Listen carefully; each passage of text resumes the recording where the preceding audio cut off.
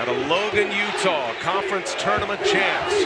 Took down San Diego State in Las Vegas last week. And the first bucket of the game is Neemias Queta, their big man. The coach of the year in his conference in his first year. You got a couple of coaches that are just getting their career started. As Brock Miller lands the first bomb of the day for Utah State. Scoring is definitely a problem for them. They're going to have to be patient because when they get behind, their defense maybe can keep them in it, but their scoring can't take them over the top. David Crisp off the bounce knocks a three down for an answer.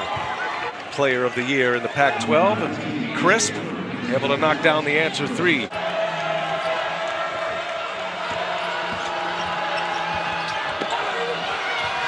Three pointers up and in. Hameir Wright on the dish from Nowell in a program. Here's Thybulle now. He'll step back for a three. Comes up short. Offensive rebound. That is Nahziah Carter getting the first rebound of the day and getting it set up for Chris. Sides and sides. 7-0 run for the Huskies. Queta gives it up. Ball's moving well. And Abel Porter is just hammered. And his quickness.